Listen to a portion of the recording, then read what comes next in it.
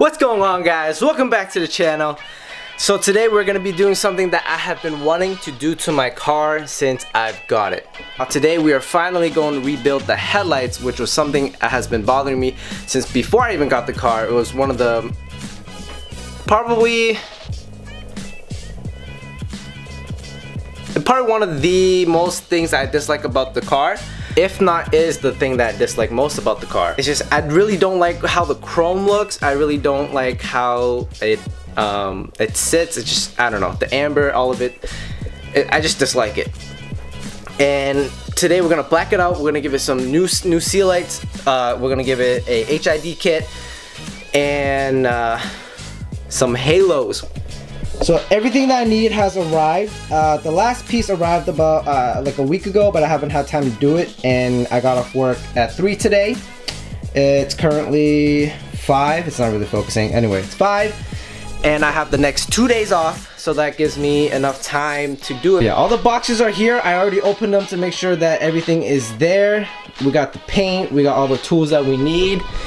Let's get this install started.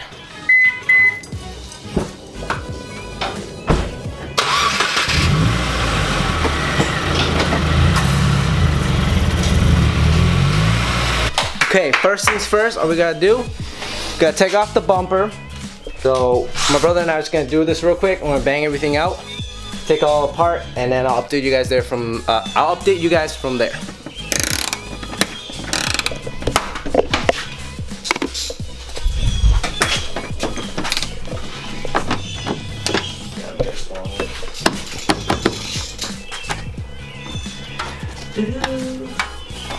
Bam we got all the clips off. What I do, I keep in a little bag because obviously if you lose these, they're very important to the bumper. I don't think I gotta tell you guys to make sure you keep it in a place you'll know. So bam, keep it in a little bag, put it in the little toolbox.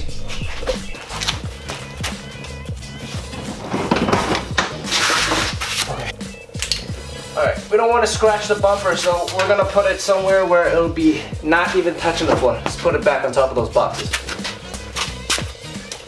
Oh yeah, this is it.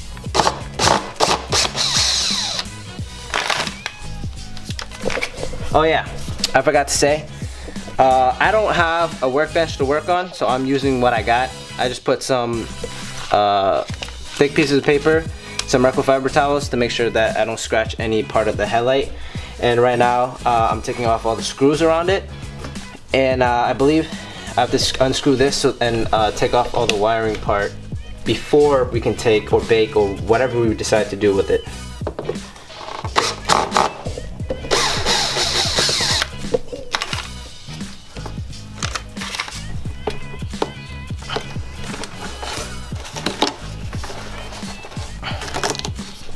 We're goaded.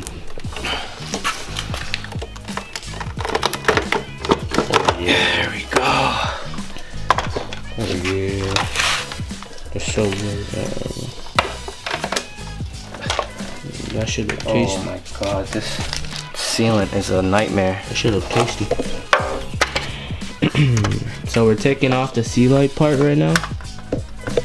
we got all this off. Got the residue. Over Over here. Explain to us what happened.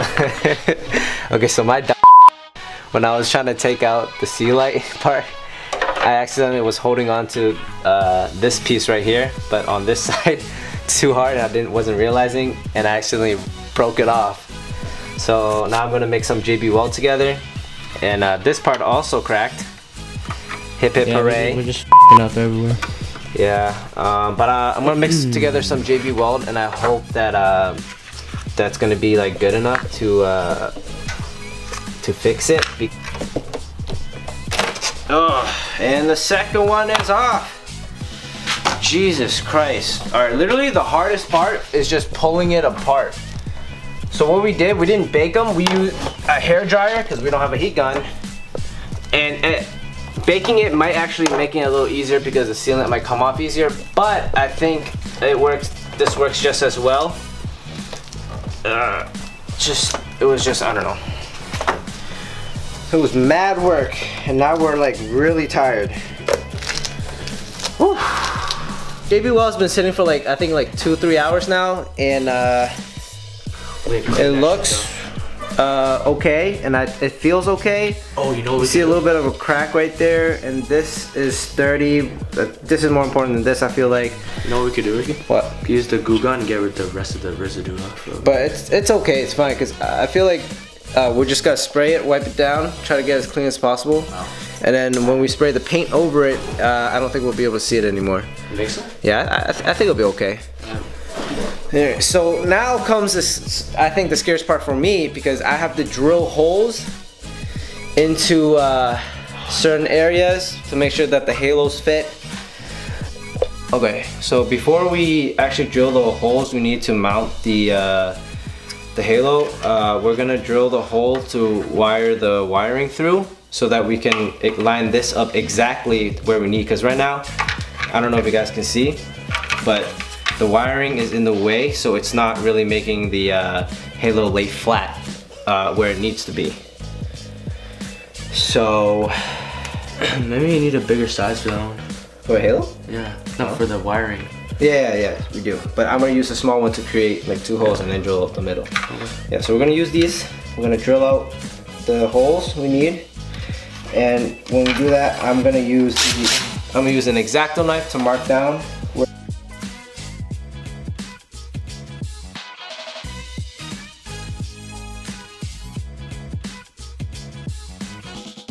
Okay guys, that was the longest, I think, how long we spent on like 30, 40 minutes we spent on only drilling spend like this. an hour. Dude, we just didn't want to, we didn't want to mess up. What a Right. if that piece came off. of? Yeah, no, seriously. That's good, Logan. What? I need more JP World now. So here's what we did. We drilled a hole right here. And then, and it was perfect size for the wiring. But we didn't account for the glue that's holding in the wiring. Okay?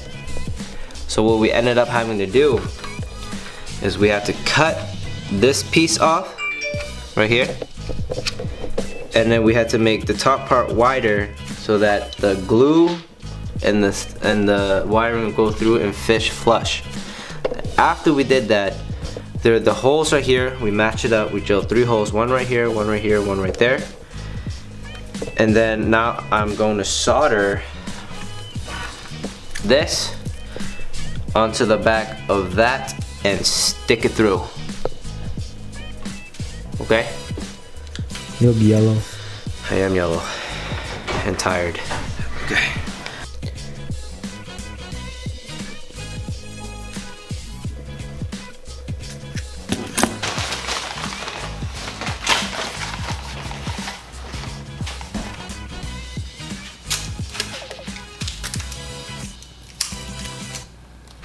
Test coat.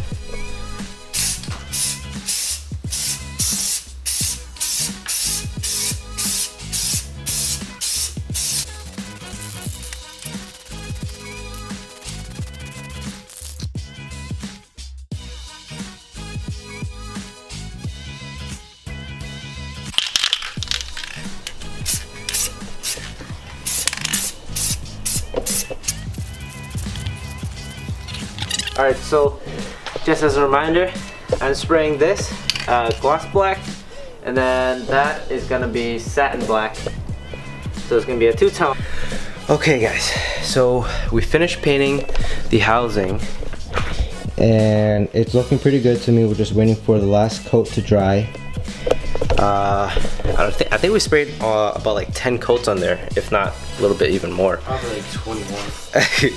but yeah, so this is all the wiring that we have to figure out how to wire. Yeah, right now I'm gonna try to hook this up into the fuse box and then we're gonna get the C-lights and the halos. I'm gonna plug them in and we're gonna make sure that everything's working and that I wired everything correctly because to be honest, I'm not I'm not 100% sure that I actually wired everything correctly. It's a lot of wires as you can see. So I'm kind of worried that I didn't wire it correctly.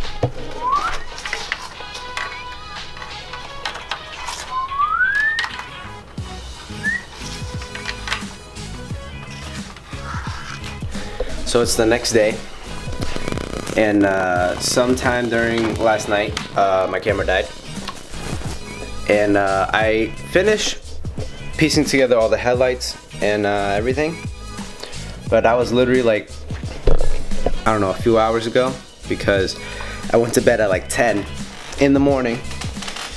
Technically today I finished because I finished everything around 9.30 and went to bed at 10 and it's 1.30 now. And I have to go out. But the thing is um, I don't know if uh, the kit that I got was missing some pieces or not but I need to tap um, I think four ground wires into a ground wire and I don't have I don't even know what they're called the clips to connect the connectors to. So I have to go out and I have to buy some clips to connect the connector to the ground wires and and for the blinkers. So but the headlights are back into my car. Uh, it's just that the halos and the C-light don't turn on yet. But uh, put the HID kit on. So my DRLs is still my stock DRLs I'm gonna give you guys a sneak peek of what the, the headlights look like. I'm not gonna show the complete thing yet because you know I want it to um, light up and actually everything work before I show you guys what it completely looks like.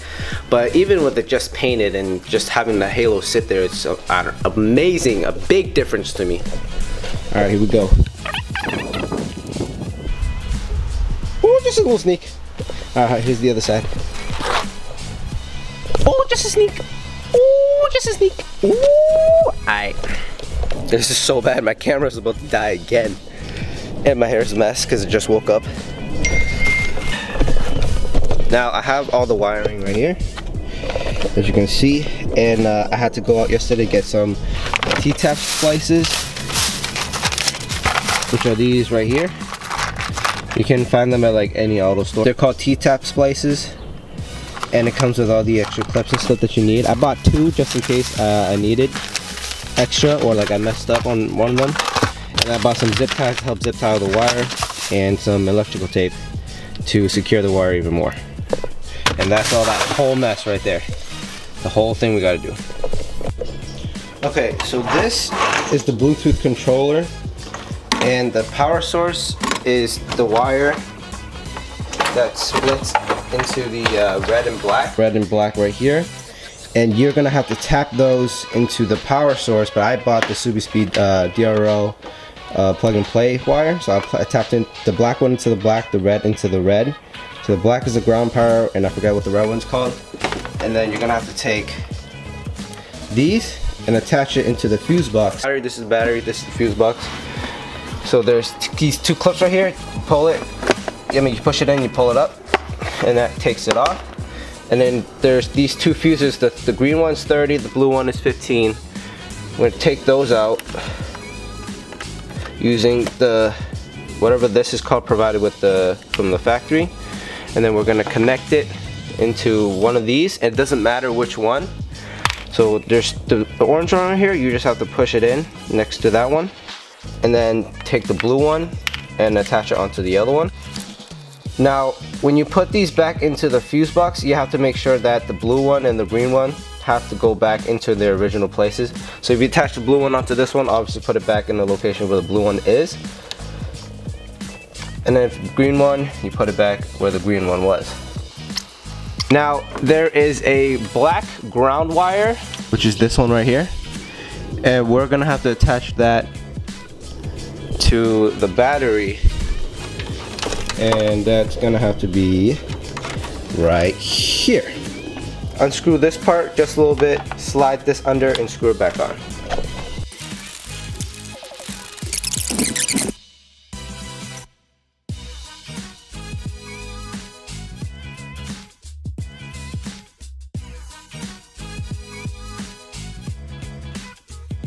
Okay, now that we have them connected, we can take the ground wires of each one and literally just plug them in. Okay, now it should just be able to turn on.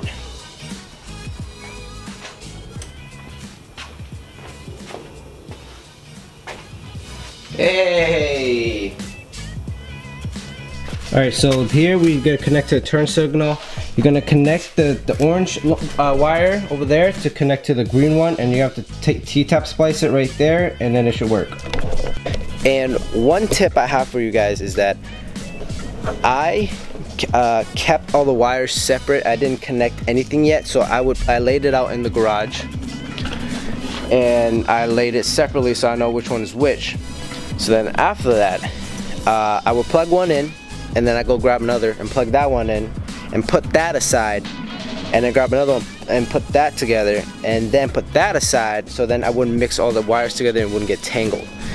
But yeah, so it looks really ugly when you open the hood, but if you have a um, the air vent shrouder, I think it's called, here, it hides it perfectly, which I think I'll get one eventually when I get an intake. Uh because uh, engine-wise, right now, everything I'm stock. Stock on everything. And yeah, but if anybody have, you actually know a better way to wire everything, like under here or in there or something, please let me know down in the comments below. I would love to learn. And uh, if this looks horrendous or whatever, I'm sorry, like I know it does, but I had to do what I had to do. So here's what it looks like. Looking mean. All you gotta do is install the app, the Morimoto app. Open that up. And then you gotta click on that, pair of devices, lock that, and then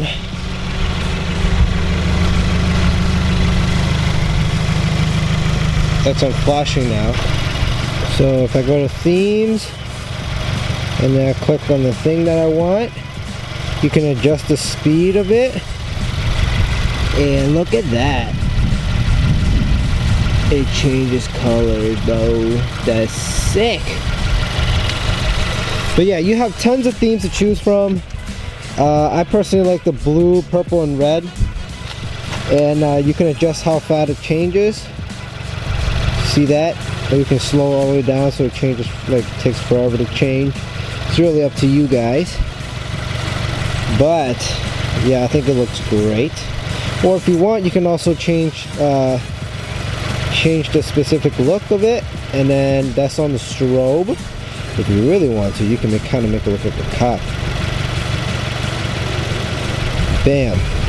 Flashing red and yellow. Obviously that's illegal. I don't recommend you guys doing that. But that's sick. And then if you want to turn it off, you just click off. Power on. Wait, what? Yeah, you just click off and then it'll turn off.